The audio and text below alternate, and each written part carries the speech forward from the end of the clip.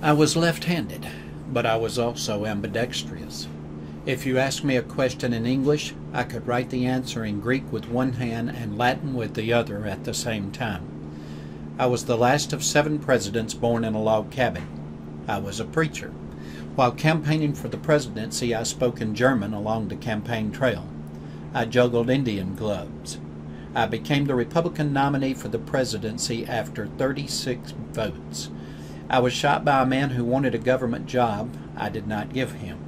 Alexander Graham Bell invented a metal detector to try to find the bullet, but it malfunctioned.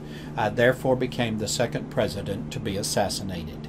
You've hit the mother lode this time.